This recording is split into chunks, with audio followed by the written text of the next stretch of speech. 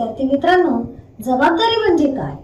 तर एखाद्याने आपल्याला काम सोपवलेलं आहे आणि ते आपण स्वीकारलं हे झाली आपली जबाबदारी.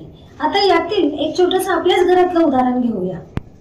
तुमची आई बाहेर जात आहे आणि बाहेर जाताना तुम्हाला सांगते आहे की तुझा हा लहान भाऊ आहे याला तू सांभाळ किंवा याच्याकडे तू लक्ष ठेव. आईने सांगितलं ते काम आणि आईने सांगितलेलं ते काम आपण स्वीकारलं ती झाली आपली जबाबदारी. विद्यार्थी मित्रांनो आता संवेदनशीलता म्हणजे काय ते पाहूया. संवेदनशीलता म्हणजे एखाद्याचे दुःख पाहून त्याच्या व्यथेने हळहळ निर्माण होणे हे झालं संवेदनशीलता. आपण थोडक्यात म्हणूया मनाचा हळवेपणा. आता मनाचा हळवेपणा यासाठी सुद्धा आपण आपल्याच घरातले छोटस उदाहरण घेऊया. तुम्ही रस्त्याने चालले आहेत. जाताना तुमच्यासमोर किंवा तुमच्यापुढे एक बाई तिच्या लहान मुलाला घेऊन रस्त्याने चालते आहे. चालता चालता काय होतं त्या मुलाच्या पायाला ठेच लागते आणि तो पडतो. पडल्यावर तो रडायला लागतो.